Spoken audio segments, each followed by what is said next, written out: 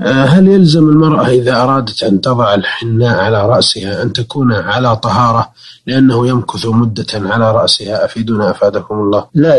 يتقيد بذلك فلها أن تضع الحناء على رأسها متى شاءت ولا علاقة لوضع الحناء بالطهارة تضعه على رأسها للحاجة وتتوضأ وتمسح عليه وإذا اغتسلت تفيض الماء عليه ولا علاقة له بالطهارة لا قبله ولا بعده نعم أثابكم الله